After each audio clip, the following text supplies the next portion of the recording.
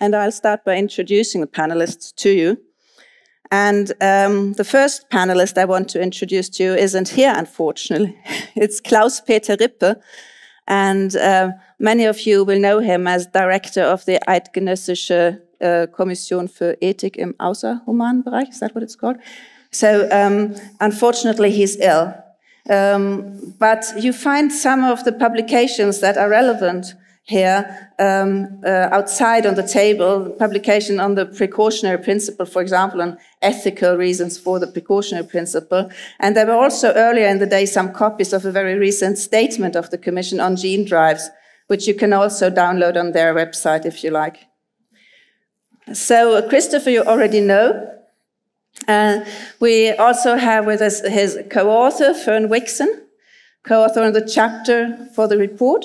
And uh, Fern now works for the North Atlantic Marine Mammals Commission and previously worked for the GenØk Center on Safe, Biosafety in Tromsø and has a background in uh, biology as well as uh, social sciences and uh, has worked uh, very widely also in, in the interspace of policy and science in this area. And Thomas Potthast also uh, is interdisciplinary by training in biology and philosophy, and, and philosophy, and he's the director of the International Center for Ethics in the Sciences and Humanities in Tübingen in Germany. So, um, welcome. And I'd like to start by um, picking up something that I think everybody here has been thinking about, but that we haven't been speaking about very much yet. And that is um, it, it, actually was behind your first slide about there being an ethical reason uh, for the ethical challenge. Um, and, and that's the idea that uh, it might actually be possible to use uh, uh genetic engineering and maybe gene drives in conservation. And uh, that conservation uh, people somehow seem to uh, feel the need to position themselves in relation to this suggestion. Um, there is a slight parallel, maybe, with the uh, malaria case, but we're, we're on a totally different um, uh, area now, because the good would be not to sort of save lives, but to uh, uh save biodiversity or help save biodiversity. So why uh, why, although many people in this room probably intuitively think that's a strange idea, why do we uh, tackle this idea now and need to position ourselves there? You're looking at me, so yeah, I yeah, I wanted to address that to you okay. first. So I hear Kristen saying that um, gene drives could be used for conservation purposes, and how do we feel about that? And isn't that a good thing if it can save biodiversity? Um, and I would just say we're in the middle of the sixth mass extinction right now. If you're concerned about the loss of biodiversity, be concerned right now and do something right now. You know, don't say, I need uh, technology that may or may not be developed effectively in the next 10 years, and perhaps that will be the saving grace. No. If land clearing, if industrial agriculture is already, on a global assessment, shown to be one of the major causes of this mass extinction, do something about that and do it right now. And don't be distracted and, as Ignacio was saying, mesmerized by the promise of a technological fix to this massive problem that's already there. There are things we can be doing right now. Now, you can position yourself uh, on the technology and how you feel about it, but I would say it's a distraction. And there's things that we can all be doing right now that are much more efficient and much more effective if you care about biodiversity. So, why do people in nature conservation bother to discuss it at all? I can add, I can add something there. Sorry, were you next? No, please. Um, Both. so there's this new uh, movement in conservation called compassionate conservation.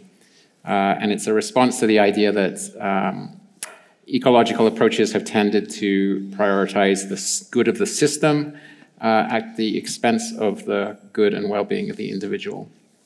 And so there, there are some people talking about gene drives in that context uh, for the possibility they might present of moving away from things like the anticoagulants that are used uh, to control rodent populations on, in island ecosystems. Um, and I think, you know, th there is an ethical argument uh, to be made in, in that context with lots of conditions on it. Okay, so that would maybe be the one that we heard earlier. Let's learn the language of nature, speak the language of nature rather than using bulldozers and pesticides. That would go, in a sense, for, for example, rodent control. Yeah, I mean, I would question whether a gene drive is the language of nature, uh, but along those lines, yeah, it's a different type of uh, response to the problem. Yeah. I, I, couldn't agree more. Maybe maybe I could add one idea that that especially in in nature conservation thinking, there is this idea that the situation is so pressing that we should use all the means possible in order to do something. And, and I think this is precisely this, this kind of instrumentalism uh, regardless of the means, if it is for a good end, saving species, then we may use all the techniques that are on the table or will be on the table in 20 years' time. Um, and, and that, that precisely needs addressing questions of priorities, like, like you did. But it might also add some, some much more general questions, which, which would be on the intentions level of, of your analysis, meaning that if, if you are thinking about unmanaged systems, so we are not talking about agricultural systems or forest systems, we are talking about nature conserver systems where, where nature uh, conservancy is the major uh, use. Then the question is whether, whether our general idea of conservation as non intervention would really fit into a very technologically managerial idea of doing this kind of gene drive or other interventions. So, in, in that sense, you could make a, a, more general argument whether the, the very idea of, of nature conservation matches with this very interventionist idea of doing uh, gene drive organisms. That's what I would call not a strong argument, but it's, it's an important argument on this level of um, what are the general values and ideas behind our efforts for nature conservation. So that means you dig deeper into the very motivation for nature conservation. You want to, what what kind of um, motivation is that then? Is, is it related, for example, to uh, relational worldviews that were uh, mentioned before, to deep eco-philosophy, or is that independent of each other? I would say it, it is independent. You could you could simply ask the, the very general technological uh, question: What are our goals? what are the means, what are the consequences, and what are possible um, non foreseeable consequences, and do these different perspectives match? Uh, so, so that's on, on still on the level of uh, consequentialist thinking. Um, asking whether the, the means to solve a problem is appropriate. And the question whether it's appropriate or not does not only uh, depend on whether you solve the problem, but also whether it fits the very background idea of what you think you are doing when you are doing conservation. So it's, it's a kind of a non instrumentalist idea why you are looking for natural biodiversity a non-instrumentalist idea. Yeah. So then you're looking for uh, the biodiversity not because it serves uh, some purpose, humans, uh, for instance, but because it has an inher inherent worth or. Um. Well, I, I, was just saying, in addition to what Fern was saying, mm -hmm. you could also use this okay. more general perspective of, of the idea how you want to, to see nature and the instrumental means you want to deal with that. So it's not either or, it's not contradictory. Mm. It's adding a perspective, I think, and that was precisely what, what you had in mind in listing these three dimensions in the in the report. So it's not contradictory, but it's uh, these are several perspectives which would, in the end, uh, give give us much clearer picture of what might be advisable and what, what maybe not. If, if, if, I, if I may um, make one comment, um, if, if it is correct that many people tend to extend the moral concerns not only to humans but also to other non human beings, um, then of course the question is uh, what kind of, again, technological approach would fit this very idea? And I'm quite sure that eradicating populations might not be really matching this idea of morally taking care of, of the rest of, of biodiversity. Eradicating uh, species as the easy example in that context. Um, there have been proposals of um, for instance, making threatened species uh, more resistant against uh, whatever threatens them, or um, uh, in some other way contributing um, to their possibility to survive. Um, in that case, if, if it turned out that the means was appropriate in that particular moment, sort of um, in that particular case, would it would you still have the possibility to, on a general basis, say that you think it sort of doesn't address the right question, or um, I mean, because that that is how it is being presented to us, isn't it? That there is potential to uh, to not eradicate, but to uh, to uh, actually uh, help in conservation in some way, and that we're doing management of nature anyway, and that this is that we cannot sort of just um, uh, reject a potential method. I'm trying to get at where where the where the um, uh, where where the um, thing that you want to uh, reply to this is based. So um, you're saying it doesn't fit. Um, does it not fit because it doesn't address the right thing, or does it not fit because there's something um, more generally uh, debatable about it? Um, but I think that those things are probably also um, complementary rather than. Um, but, but uh, I would like to hear a little bit more about those possibilities. I mean, I think we have to be really careful not to stray into this kind of speculative ethics where we get into a point of saying, if you could develop a gene drive to support the resistance of a threatened population, would you accept it then? I feel I find that kind of a question quite trapping in a way, mm-hmm. uh, and I I'm certainly not someone who I am not really in favor of universalized principles or or things like that. I'm much more context based. I want to know exactly what type we're talking about, for what use, for what purpose, in what context before I take my decision about whether it's desirable or not. So I'm not going to sit here and say all gene drives are uh, unacceptable on principle. That's not my kind of approach. Mm-hmm. But I also don't believe in kind of giving really speculative potential possible maybe ifs and would you then say yes i'm all for that? I find that it, it, it's very it's sort of a leading question. And i think when you look at what the conservation examples are of gene drive research they are eradication. They're eradication of invasive species on islands. That's where the actual research is taking place. So it's still about eradicating populations maybe not species but populations mm. on islands and often uh, through things like engineering sterility.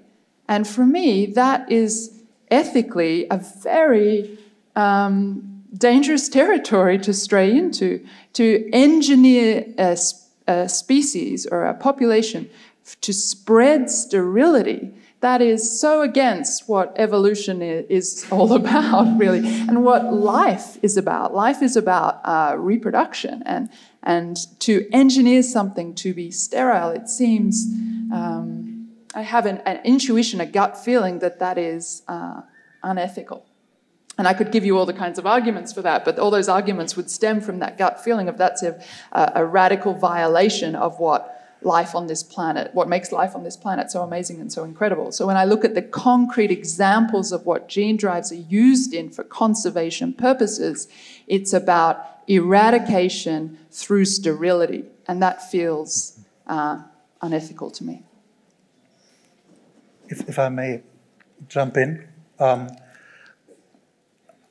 I agree. I, I would add that the sterility argument has a very strong uh, dimension also in classical risk assessment. Um, and I want to bring home one point. So, and, and I could make this point now. Uh, I have to please forget about the word speculative ethics. My esteemed colleague Alfred Nordmann got it completely wrong. in the wording, not, not in the, the way, what, what he was saying, but the wording, speculative ethics, is engineering of um, the wrong way to look at ethics. Because it's not the ethics that's speculative, it's the speculative technocratic optimism that then is put into ethical deliberation. So it's not speculative ethics, it's speculative technocratic optimism. And only then ethics is coming in. So I think Alfred was really hitting on the wrong head here. It's not the question. I, mean, there are lots of ethicists who do this kind of, you know, uh, uh, um, things like what if and blah blah blah. Uh, but the major thing is um, this this speculation is resting on technocratic optimism and not on ethics. And I really want to hammer out that point here um, that it's not about ethics, but, but of the very idea that we think, okay, what would the world be if you know all our technological devices would work without any fault? And this is precisely, and people, other people have addressed it as well, that is precisely the trap um, you got into when you say, well, let's think if this malaria eradication would work, how could you possibly be against it? Well, you have to get, you have to step back. And this is what, you know, many people and, and on many pages of that report has been, has been done. So I'm silent now. I think I could make my point. Uh, thank you very much for that. Um, point about, about the term as well. Uh, I think it has become quite popular uh, uh, also in technology assessment. It has become quite popular because the paper uh, uh, struck such an important point and, and many people, uh, I think on reading it at the time realized that, oh, wow, yeah, we might be sort of instrumentalized for uh, creating some sort of habituation or acceptance by talking ethics about something. Uh, and so it, it is a very important point, but actually maybe the wording doesn't I, serve it very well. I, I, have a suggestion which was coined by the founding director of our ethics center, Dietmar Mieth. He is talking about the, the normative power of the fictional, um, even the normative power of the counterfactual. And I think that's precisely the point. That, that you, you get this normative moral power from fictional ideas about possible states of the world and the technology uh, we are using. So it's a, an appeal to stay uh, in reality, which we've heard before, and in the here and now. Uh, so. Um, yeah, and just to elaborate that yeah. in the malaria case, because we're being told if this is developed and if it can save, how can you be against it, right? Mm -hmm.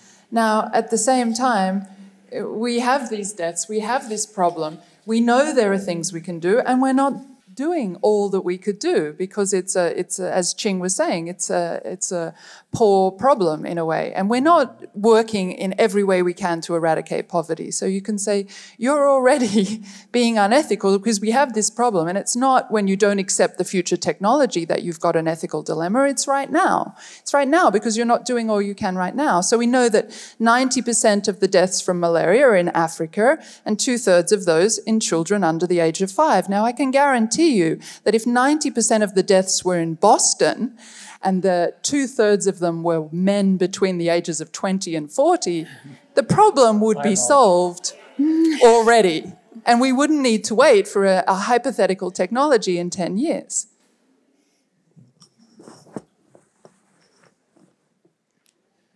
I'm really glad that this is being exercised here because uh, it is really frequent that you get put into that uh, dilemma type situation. So the main message so far is step back and and uh, and uh, uh be willing to criticize the question, right? And and look at uh, criticize the question in terms of what is going on in the world right now. but also criticize the question in terms of the, the layer at which the question is asked. So uh, when you were talking about uh, using a, a, gene drive to save a species hypothetically, um, I was thinking of the, um, uh, the honey creeper species in Hawaii and the avian malaria um, and the possibility of, of um, a gene drive that would help the honey creepers.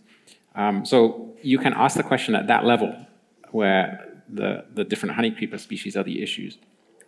Or you can ask the question at the level of uh, designer ecosystems or designer genomes. And it, it, that is to come at it from a completely different angle. It's to focus your ethical intention on a different place. Uh, and quite possibly, you might come up with a different answer. Um, so the, the importance of paying attention to context uh, is relevant not just in terms of the context of the real world situation, but also in terms of the context of the level at which the question is, is being developed and asked. So uh, you mentioned uh, uh, contexts such as socio-economic context in your report. Um, and you, there's, there's one thing that I wonder, when we talk about it now, we, we do have the gene drive topic in the center, right? We're not starting at a particular problem uh, we're talking about, but the particular problem is a policy challenge problem somehow, isn't it? That's, that's what we're addressing here now. So that's why we're putting it in the center. Um,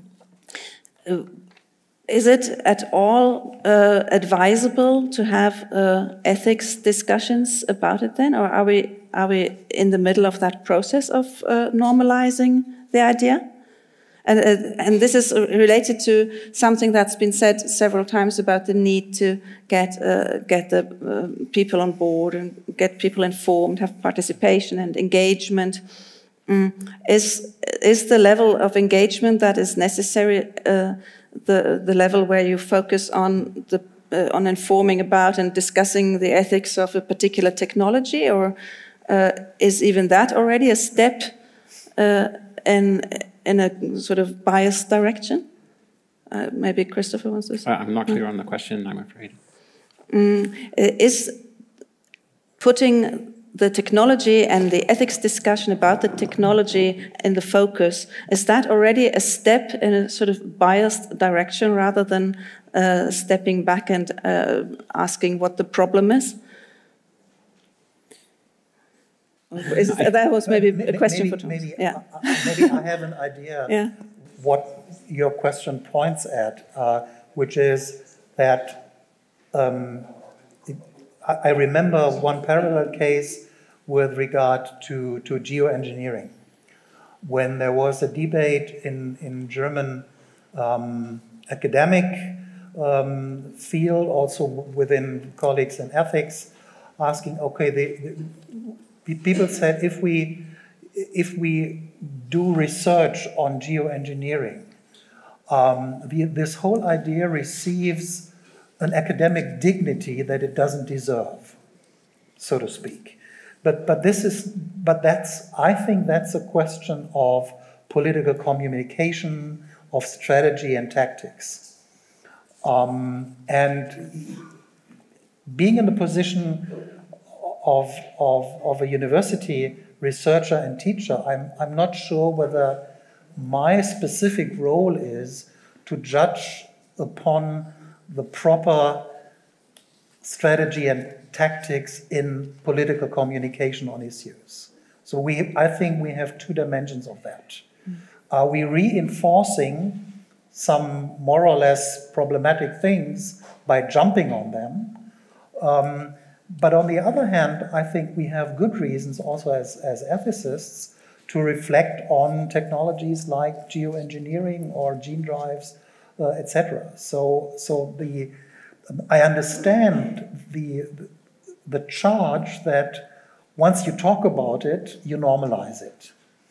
Um, on the other hand, I would say it's precisely what I see my role um, uh, to think about that, to, to raise critical questions, um, because that's on an, another level than the political and strategic question whether it's good to you know, reinforce this. Um, and and on, on that political question, uh, level, I have no idea. I, I, really, I don't have any idea. Um, I, we have been discussing that also with regard to, to uh, the question of uh, using gene drives and, and other novel uh, genetic technologies in conservation. Uh, but as, as you know, uh, it's out there. It's out there in IUCN documents. And in that case, uh, you have to say something about it. Yeah. So uh, how how did it get into IUCN documents? Um, I don't know if that's an ethical question. Um, would you like to say something about that process? I don't know how it got into IUCN documents, but I, I think if you're talking about, if talking about something normalizes it, then, then let's be strategic about what conversations we have and who we have them with, right? What do we want to normalize? So I've done a lot of my ethics work uh, with scientists where I hang out in labs and I talk to scientists and we work together to reflect on the work that they do and the technologies that they develop and, and how that can be done in, in a good, responsible way. Now, if me talking to scientists about ethics is normalizing ethical reflection in the laboratory, great. I'm all for that. Let's do that. Do you know what I mean? Uh, talking about ethics about a, of a technology that not yet developed to the media in the public. Now that's normalizing something different in a different way in a different community. So I think the fact that you talk about something and normalize it can be used strategically to bring about more responsible and sustainable science. Uh, for example, by normalizing ethical reflection amongst uh, scientists working on emerging technologies. Um, uh, so what about engaging the public? Uh, for instance, in Germany, there has in the last uh, three years been a series of uh, public engagement activities by the Leopoldina, where uh, uh, the topic is gene editing, genome editing. Uh, there, there, were a variety of topics. One was um, cancer therapy, I think, and the other was um, the fight against malaria. and it was constructed as, for example, um, debates uh, where you get uh, sort of in, some input and then and then uh, the audience uh, is asked to debate the pros and cons. That that would be i think uh, maybe you know an example of of another kind of normalization um, and maybe we need to engage uh, with that in specific ways so, Brian Wynne, who was moderating one of the earlier sessions, has made a distinction between invited and uninvited engagement. And I think this is a really powerful conceptual division in the sense of when we're talking about engaging the public and we, we kind of invite them to attend certain events that we put together and we decide who's on the panel and we decide what questions are asked and we decide what happens with the input, we being whoever is the organizer. Um, there's all kinds of challenges and problems with that. Whereas uninvited engagement is what the kids striking on the streets are doing in a way. No one's inviting them in to have a conversation about how we should handle climate change. They're just goddamn expressing their opinion. And that's what we saw early in the GMO debate as well. It was uninvited, it was unruly. I'm not going to say disruptive, but it was being framed in many different ways by people using their own ways of framing, understanding their own agendas, forcing, in a way, their own position and their own way of interacting with this issue, which is a very different way for publics to engage than being invited into a very structured and very manufactured kind of space. Now, both may have their role and both may be important, but I think that we absolutely have to see the value of those kind of unruly and uninvited forms of engagement. And we can ask, why isn't that yet happening around GDOs? And that's because there are so many other pressing issues on the agenda right now. But it is happening around biodiversity loss and it is happening around climate, um, that people are self organizing, self framing, and having something to say about it. But if, if we go away from the issues that are sort of more, um, how did you say it, uh, speculative, uh, technocratic optimism, uh, there are also some issues uh, that are scary even without technocratic optimism, such as the thought that there might be uh, things being developed, even though you know it might not yet function very well. But there's dual-use potential, there's military interests, uh, there, or maybe just uh, commercial interests strong enough to push things on the agenda more than anticipated, and one has to be ready with some sort of regulatory approach to this? Uh, how can how can ethical uh, perspectives uh, help there? Part of my uh, motivation to be in this conversation um, in, in, my work is that uh, it's very tempting with a new technology, if you if you're on the development side of new technology, to say. Um, this is nothing really different. Uh, we've been doing this since, you know, agriculture, uh, or you know, this this is just a continuation of previous um, uh, developments. Um, I think sometimes you, you can say, no, no, this is different. Uh, this is metabolic. So I use the idea of a, a metabolism and interfering with the Earth's metabolism. Um, this raises the ethical questions to a new level. Um, and, you know, I think that one of the interesting things about the climate change activism at the moment is this sort of recognition that things are at a different level now. Um, you know, they are planetary, they are multi-generational. Um, they're important in, in, a way that, uh, I mean, yes, there have been important issues before, but this, this is a, a different type of importance. And I think the, uh, the biodiversity report just a couple of weeks ago um, was a good attempt to uh, bring that biodiversity conversation uh, to the same level that the climate conversation has been. Um, and so I think it, it's totally legitimate to say uh, we need to be more alert right now. This is a, a more important issue uh, that, that needs more engagement than some issues have had before.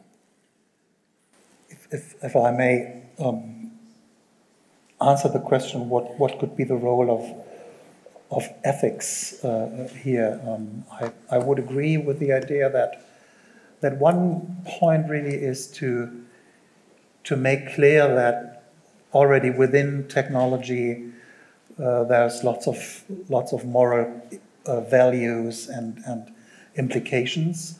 Um, second, that um, and and this I think this is very important um, that um, at least we as moral philosophers um, are not experts on moral questions. We are experts, uh, experts on moral theory. So if you come to me and have, have a moral problem, I'm not the one to tell you what to do. That's, you know, counter everything what has been in, in, in Western moral philosophy for the last uh, 2,000 years, 2,500 years.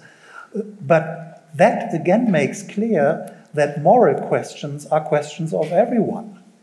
So everyone is thinking about whether, some, whether an action is bad or good, whether something is moving into a wrong or the right direction. Uh, and everyone, and I'm, I'm, I'm, I'm completely old fashioned enlightenment here, Um, talking about morals means that, that everybody uses his or her capacity for judging. And, and our role as, as professional ethicists is contributing some more technical knowledge, like the people from biology or social sciences are contributing their technical knowledge. So, if anybody is interested in the difference between rule based utilitarianism and act oriented utilitarianism, uh, we can have a coffee over that.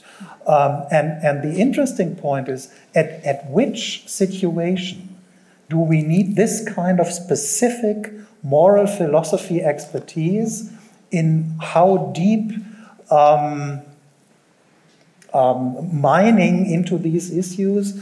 Uh, and, and that's precisely the same question as how much information from the science and technology studies, uh, in, in how fine grained information do we need this in order to have a societal debate on questions like gene drives. Uh, and, and, and this is maybe um, the, the point where the public debate needs an idea of what role expertise could play and what role expertise could not play. And, and I would say that relates to the natural sciences, to the social sciences, to philosophy, to whatever, um, equally. And, and we might be, or we should be asked by uh, the people who are doing the deliberation and the political uh, decisions um, of what we could contribute. So, in, in that sense, uh, our role is not, uh, like as you said, is not to organize the, the discourse, but, but to respond and bring in these kind of, of uh, dimensions of reflection.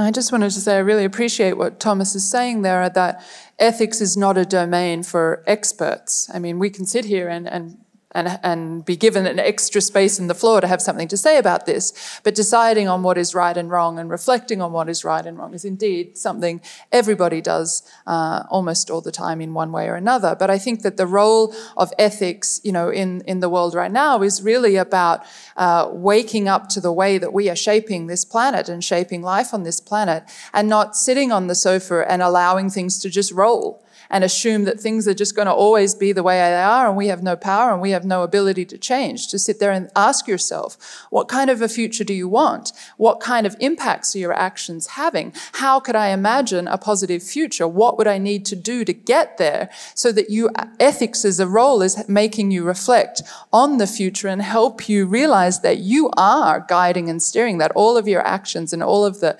little things that you do, all the purchases you make, what food that you eat, all of that is co shaping the life on the planet.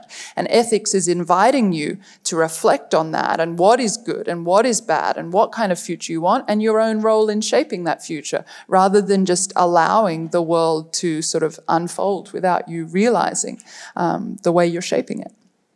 And ethics has that role of asking us to sit back and say, what do you really want? What do you think is good? And how can we get there? So it has been for, I think, 20 years or so now, a standard requirement that uh, ethical, legal, and social aspects for such reasons are taken into account in research and also in, in addressing scientists as experts for policy. Uh, and uh, there has been a lot of activity in these areas. Uh, and uh, at the same time, it can seem sometimes that maybe it, uh, there's room to fill it with even more content in terms of what can actually then be addressed in a policy setting of, of these ethical, legal, and social uh, aspects. I'm thinking of, of the way you opened up, uh, uh, and I'm also thinking of what Thomas has been working a lot on. Um, uh, with you call them moral epistemic hybrids. So, so you're saying uh, there is often in a particular uh, concept already an element of uh, science as well as an element of of uh, value. Uh, I don't know if that's how you would put it, but maybe you could tell us a little bit more about how that can be relevant in something like um, looking at regulation, risk assessment, precaution. Um, uh, how, how ethical theory uh, sort of fills in uh, content there. Ooh, um, my, my, my point is that when, when looking at, um, at debates in uh, both around genetic engineering and biodiversity 20 years ago, um, I, I, found that, that still the idea was that um, many people thought biodiversity is something which biologists are experts for.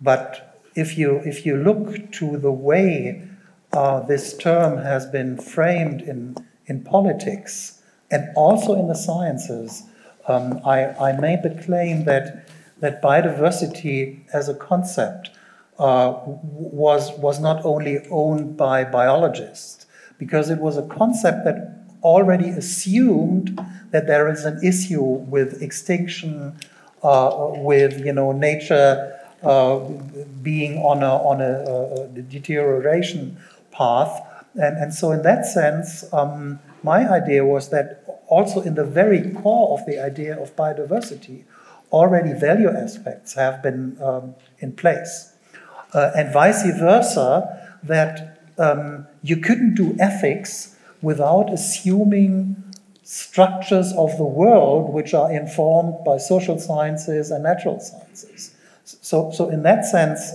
um, my, my first uh, approach was to see um, that the, the, knowledge base um, is already very much integrated. So the separation between factual knowledge and values is much more blurred than we thought which is not to say that everything um, is, you know, just messy.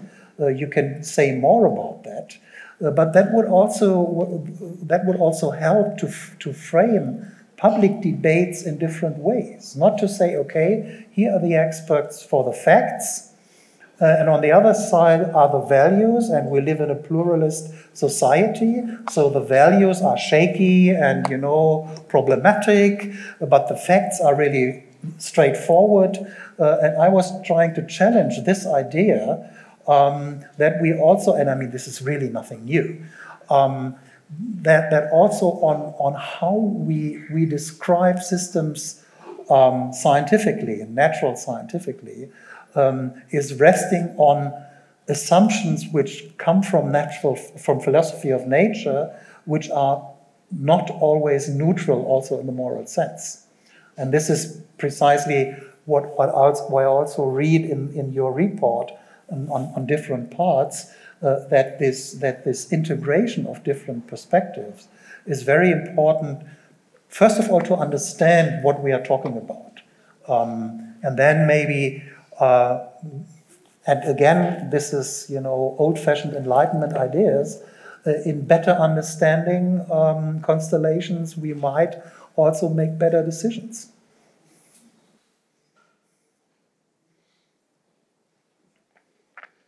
So um, we could open for questions from the audience. There's one right there. Do we have microphones? Sorry, I'm, i was too quick with this now. Oh, no, for the translation, we need you to wait for the uh, mic. Who first? Right behind you. Thank you. Uh, before we had various people from the audience make, trying to make the point that uh, how can we bring the debate to the people, to the individual? And while I completely agree with that aspect, that part, I think that maybe it's also a sign of our times that we think first and foremost of the individual and not of, not of the responsibility of our culture. And so my question is, and I already posed it to, um, sorry, to Christopher, and I'd be interested what your, your two responses would be is how can we involve those groups and those sources of our culture that have traditionally, up until maybe a generation ago, been kind of the source of ethical, not in a sense of whether it actually is, but at least in the sense of ethical deliberation, namely religion. Why are religions so silent on this topic. I mean, a woman that I was talking before mentioned that the Pope apparently did make a statement about that, but in general, they're absent in this debate. So, my question is shouldn't there be an effort to involve religion into this debate? That sounds like you've given yourself a task, and I say go for it. Looking, my personal experience in, in Germany, or more specifically West Germany, but that also relates to, to the eastern part, is that, that many debates on, on GMOs, early debates, uh, have been pushed very much by specific groups also from, from the Catholic and the Protestant churches. So in, in that sense, I, I would, wouldn't agree completely with the idea that, that some of, of the uh, religiously inclined people haven't been uh, um, operational in this, in this debate. Uh, however, I mean, that, that brings us to a very important point. Um, what, what role um, religious faith could play in a society which, at least uh, on the programmatic level, uh, seems to be secular or wants to be secular, which is not true to many also Western societies right now. Um, but anyway, um, and, and I think there are, that's very much on, on this motivational level um, where you could ask these very general question of, of what is the relation between humans and the rest of the, the world and, and things like that. Um, however, if it, if it comes to legislation, um, maybe it's not that uh, good to, to you know, refer very much to, to this kind of re, uh, religious faith because that's sectoral. And, and I'm, yeah, anyway, let's put it like that. And, and even, even with this widely received uh, Laudato Si um, um, document of, of the Pope, uh, that had very few repercussions within the Catholic Church, as I have been informed by people who know about that. And if you, if you look to that, my criticism of, of this is, of this encyclica is that it very much, on the one hand, criticizes capitalism, but then brings back the responsibility to act on the individual.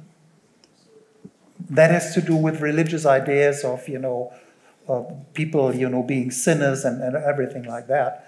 Um, and, and I'm not sure about that. I, I think we should, we have to get away with the idea that it's mainly the individual that has, you know, to change the world. We, we need much more debates on, on political e- economy and political ecology and, and all these sorts than asking, okay, what, now, I'm, I'm not saying this is unimportant, but if you focus too much on the individual, then it's getting wrong. And maybe some aspects of religion maybe is focusing too much on the individual. That, that was a long and windy comment. Sorry for being so imprecise. I actually thought it was very interesting. I don't know if the entire audience has actually read uh, this. Uh, what was it called? Would you mind just telling us in a few sentences a little bit more about the content, and then we go to the next question? Uh, well, as, as, as, a Protestant, uh, being, being, being, raised, being raised in, oh, anyway. Um, no, it's the, the, the, the, the encyclica uh, Laudato Si has been, has been very informative because it's addressing issues of climate change, of, of environmental degradation in a very strict sense, and especially addressing that this problem is related to the way how, let's say, neoliberal capitalism has been shaping the world. Uh, and so, in that sense, it, it was very um, important and has been enthusiastically taken up by people uh, to say, well, then now we have support from the Catholic Church uh, with our agendas for um, uh, climate policy and, and the critique of, of um, growth societies and something like that. And there is very much uh, into it. Um, but allow me to make one comment. Um, the word e ecology has been coined by a German uh, biologist who in 1906 was uh, declared the counter pope, um, which has some irony in it. Um, mainly the, the idea that um, ecology itself could be something like, you know, a worldview uh, which is not related to religion, but which is taking over the very idea of religion. And this is precisely what Ernst Haeckel and his monism was trying to do 100 years ago. Uh, but I'm, I'm, you know, going astray right now. I'm sorry for that. But we have to be clear that if we, if we, if we, if we tackle these very general issues of worldviews, uh, we have interesting connections and contradictions on, on that level. So things are not getting easier, uh, which also is something which philosophers like to bring in uh, in analyzing things, uh, making it more complicated in the end. But that's our job. We have the next question here, and then two more in the back. Mm. Thanks very much. It's Helena Paul from EcoNexus. This is a very broad question, but I would like to know how and where we can best tackle this mindset that we've been talking about that seeks to precipitate us towards gene drives and geoengineering.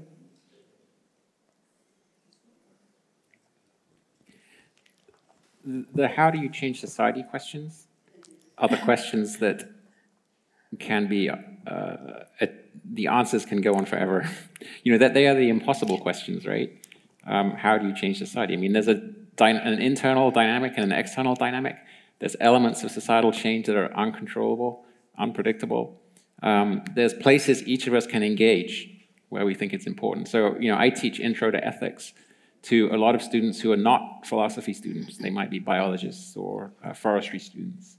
And, you know, really one of my, my main goals is, is to persuade them that ethics is in their day from the moment they crawl out of bed in the morning.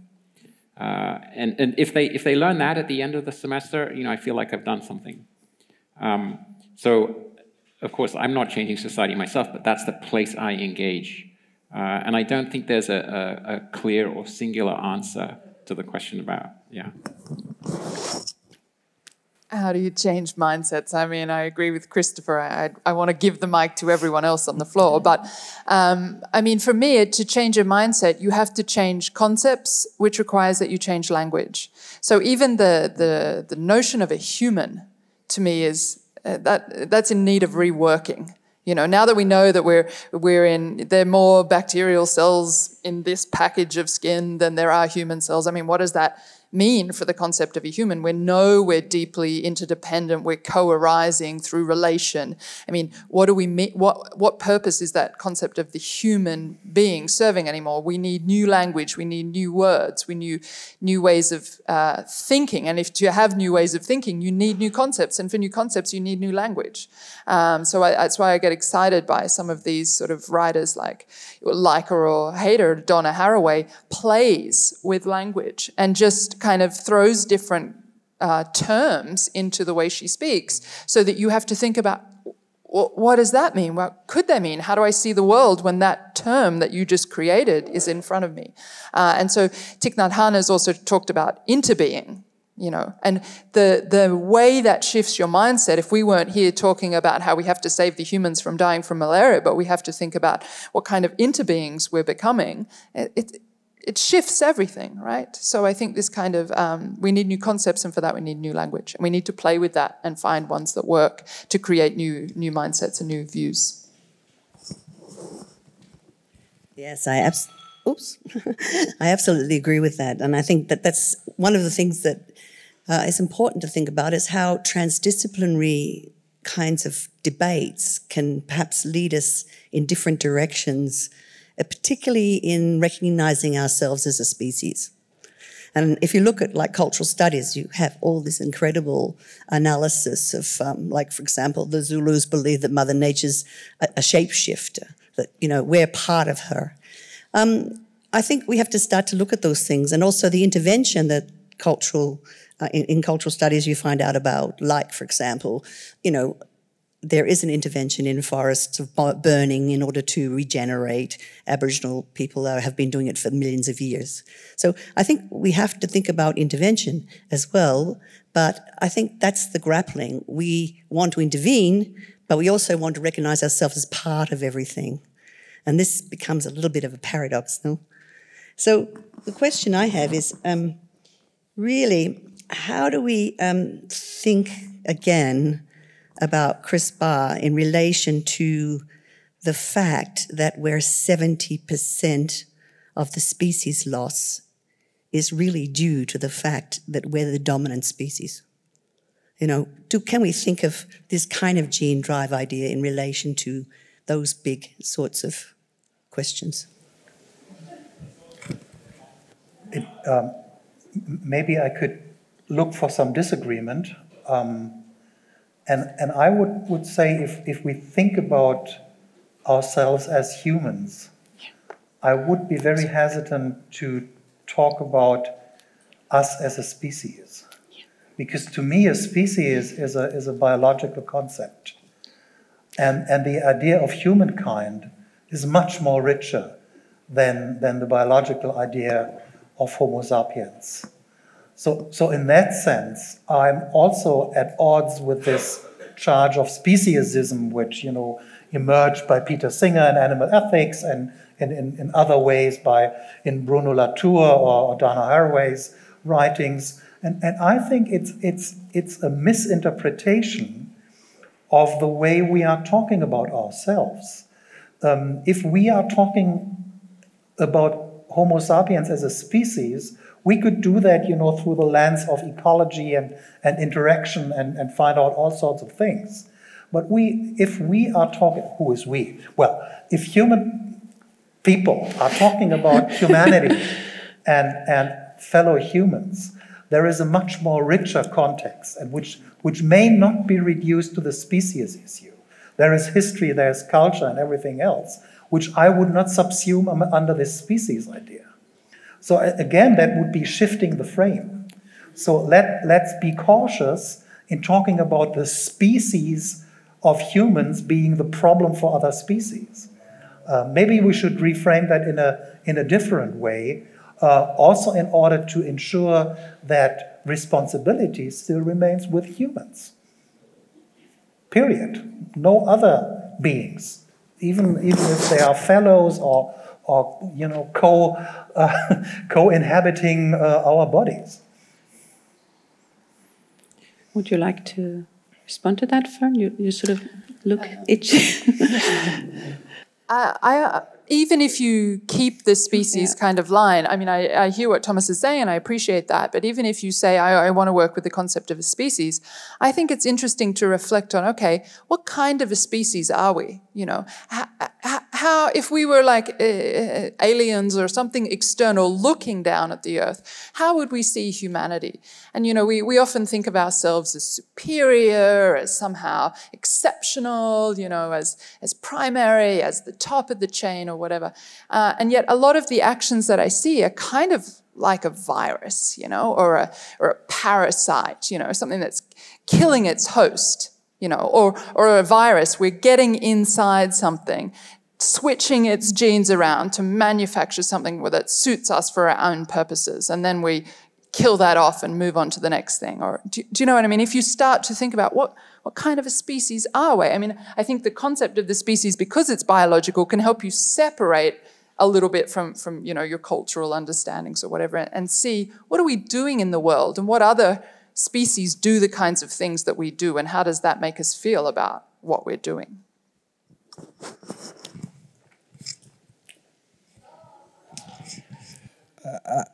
I'd like to ask a kind of a practical NGO question in the end.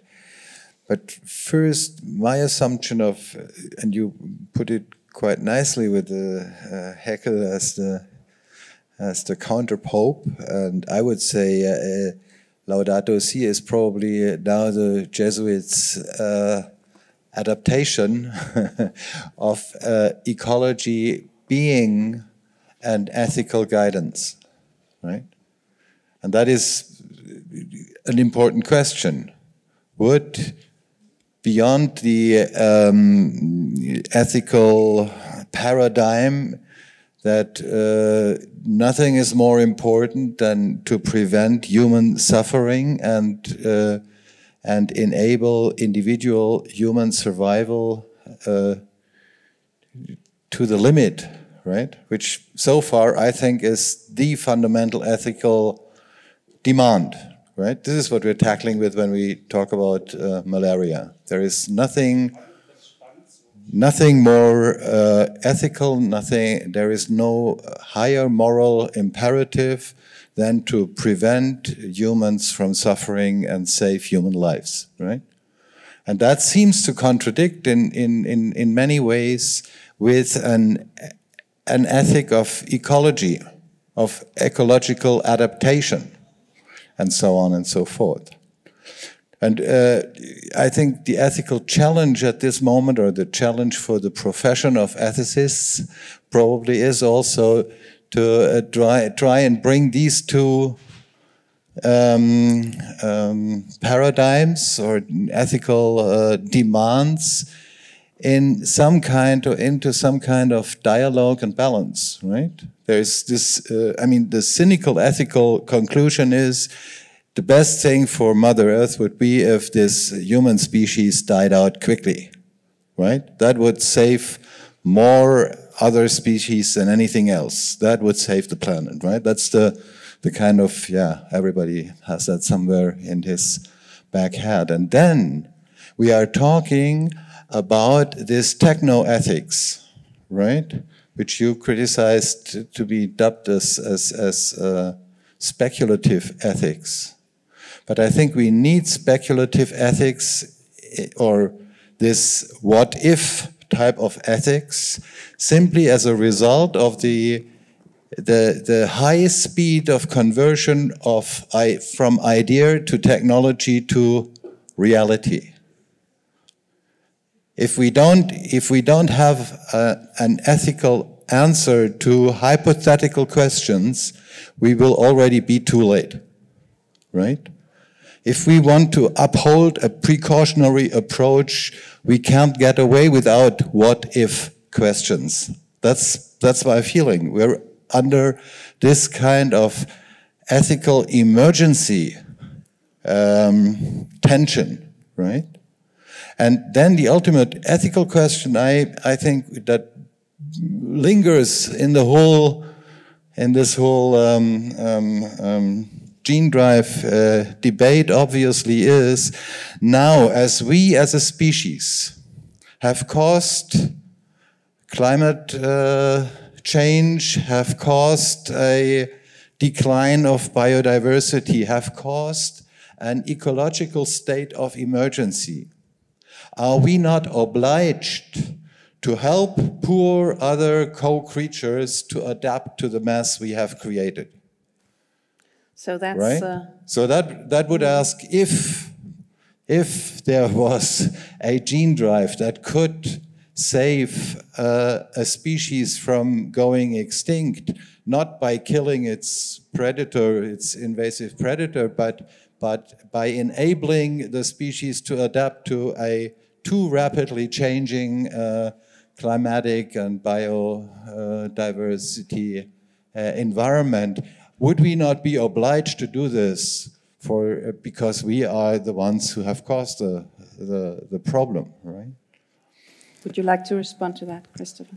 Yeah, very, very briefly. Um, I, I, was going to add to uh, Thomas's discussion of Laudato Si. One of the major things that did is it uh, put an, an argument for biocentrism and ecocentrism into Christian theology as opposed to anthropocentrism. Major breakthrough um, to, to make that shift from anthropocentrism to a biocentrism or ecocentrism uh, is a major shift. Um, the field I work in, environmental philosophy, um, I was strategic when I chose my area of philosophy. I went to the field that had only been going for 40 years, so I didn't have to read 2,000 years of uh, philosophical history or more. Um, but in those 40 years, uh, the, the field began with this very same question. What would a biocentric or an ecocentric ethic look like? Uh, and that is, it is an ongoing project. uh, as important today as it was 40 years ago. Um, so it's not that it, it, it, in part of the, the way your question was being asked, uh, it sort of sounded like this is a, a, a new um, ethical challenge we must confront. Uh, but it, it's been the ethical challenge that has motivated the field of environmental ethics for the whole of its existence. If, if I may respond to that, um, um, I think if you frame the question as an emergency question, like, you know, I'm lying here and bleeding, and, you know, why would no one come with, with taping, you know, the wound? Um, then maybe you lose um, lots of the context of posing the question. So I think if we if we are discussing moral issues in this em emergency help situation, uh, most of the people would feel obliged to answer, of course, we have to do everything what we can. However, as, as you have been uh, also alluding to, uh, we are much more in, in the situation even in, in emergency situation that, that people have been um, characterized as triage, which is a deeply military issue. You know, that you have uh, uh, 500 people uh, being close to, to dying, and you have to make the decision whom you are going to help first. This is also what Norman Myers, almost 40 years ago, has been publishing in a book on on uh, species extinction, the, the book, uh, the, the Sinking Ark. I mean, you have, one has to be very critical about that. But he was asking the question okay, we, we can't save all the species, the non human species, at the same time. So we have to make some priorities. And there are all these debates on priority in species conservation, in biodiversity hotspots, and what have you. And now this question um, brings you out of a situation which is framed in this immediate, okay, we have to do anything we can. Because we have to make more broader decisions in the context of our resources, of the time, and, and everything else. And so we need this kind of, of priority setting, which is not very nice, um, which brings us into, into ethical uh, uh, um, because we, we, you know, we can't do everything at the same time. Um, but, but in order to do so, we really need to kind of pool this information. And then there would be another debate. Um, I think if we think about our own humanity as a mainly negative force on earth, we are framing us in the wrong way. Because it's you know a very pessimistic it's it's anti anti-humanist. And there are you know quite some indications that that's not completely wrong. But again that would not be um, i think the basis for for proper action identifying our fellow humans as pests of mother earth i think will will lead us not to very good points in making decisions.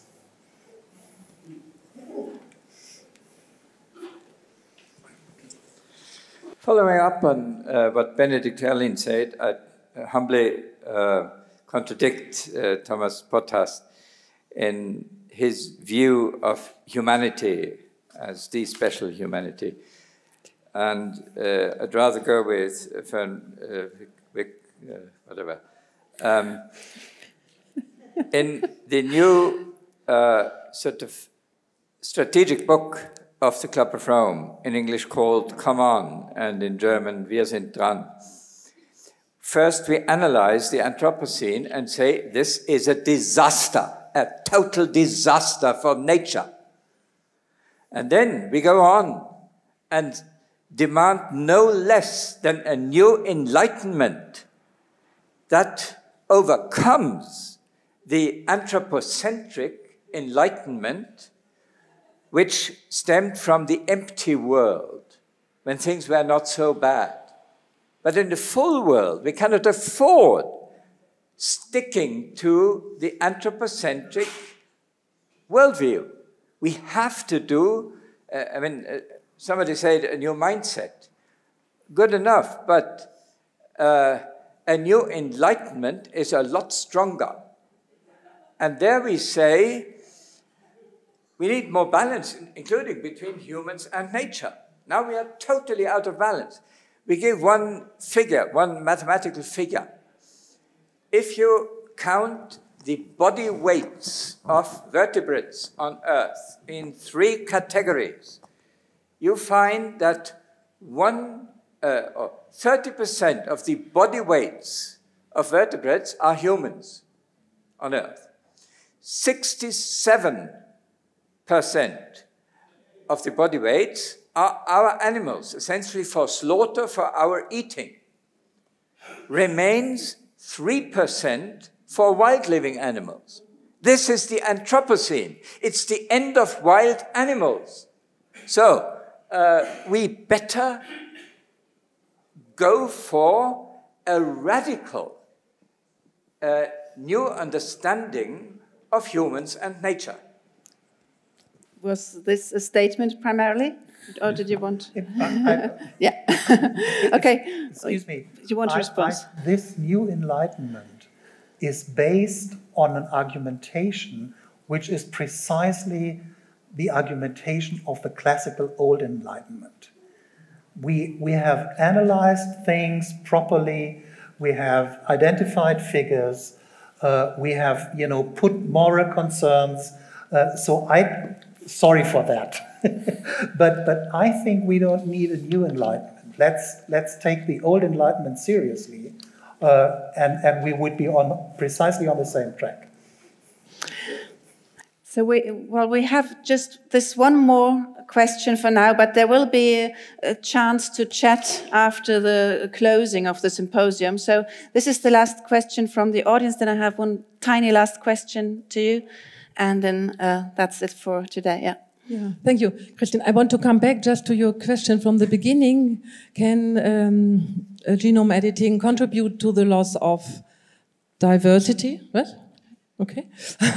and I want to answer with a clear no, it can't.